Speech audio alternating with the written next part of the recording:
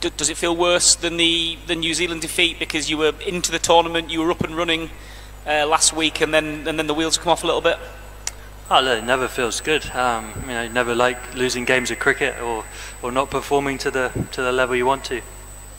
And, and can you can you put your finger on, on where you think it went wrong? It didn't it didn't start great, and it, you, you never maybe never quite got in front of the game at all. No, we didn't. Um, no, we started poorly. Um, you know, first ball of the game, uh, I missed one, and it sort of set the tone for that first ten overs. We um, didn't hit the areas that we wanted to, and um, credit to Gurbaz, he put us under a lot of pressure, played some, some good shots, but um, you know, maybe a few too many easy boundaries in there, um, and it took us a while to sort of get into the game, as he said, and we came back well, and then maybe let them get a few too many more at the end.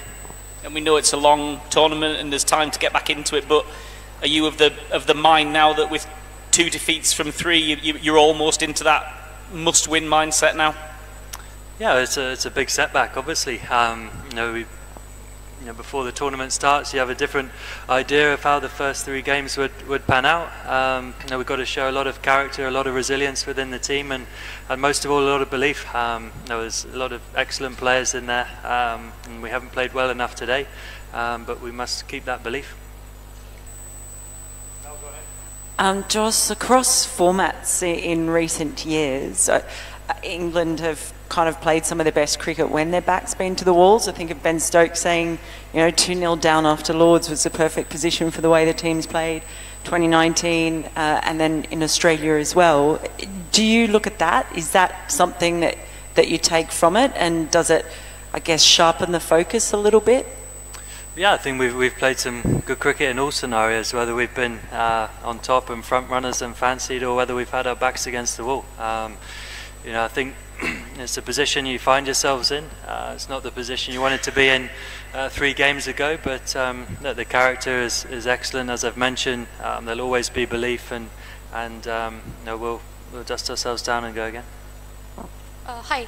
Uh, is it too early to say that England's World Cup defense is under threat because you guys are yet to face India, Aust Australia, and South Africa?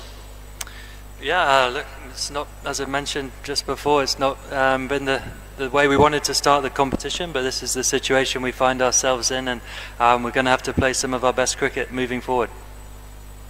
Uh, and what's the uh, latest update on Ben Stokes' fitness? Uh, he wasn't fit for this game, but uh, we'll see how he get, uh, pulls up for the next one.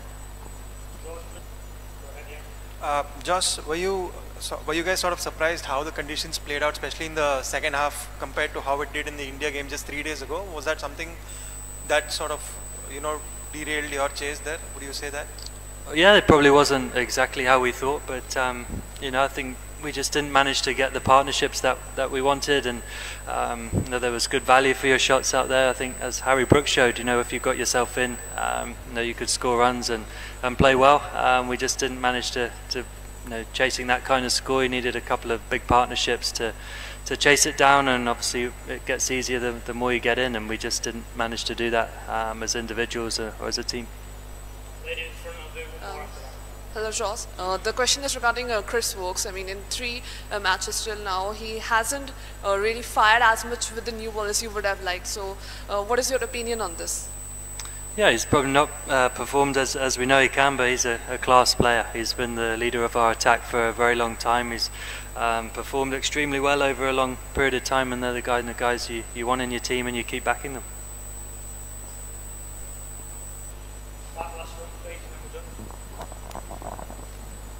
Jos, it's kind of been two games you defeats where you've sort of not really turned up, it's probably fair to say, rather than losing two close games. Is that worse than if you had have lost two last ball thrillers?